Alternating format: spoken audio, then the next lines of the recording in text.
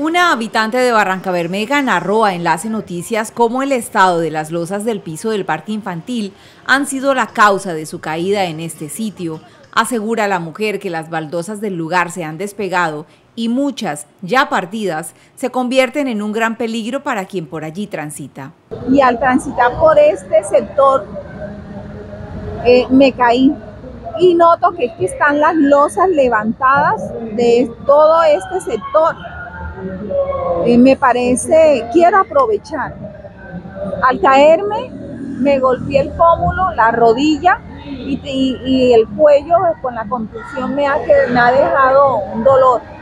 de poder pedirle a las autoridades competentes la intervención de estas losas que están levantadas en el parque infantil, un sector bastante transitado y así como hoy me caí, se han caído muchas personas y seguirán cayéndose, es un peligro. Y es que según ciudadanos que frecuentan el parque infantil, aseguran que ya son varias las personas que han sido víctimas de caídas en este sector. Y mire lo que hicieron, que vinieron los contratistas, sacaron las losas y dejaron eso todo levantado ahí, no pusieron nada de, de o sea, no hay ni señalización, no hay nada de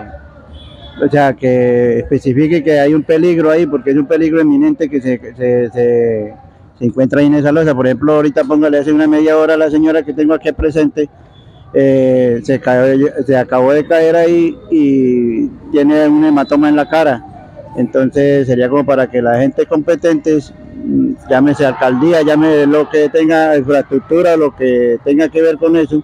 o sea, que tengan más pendiente y pongan más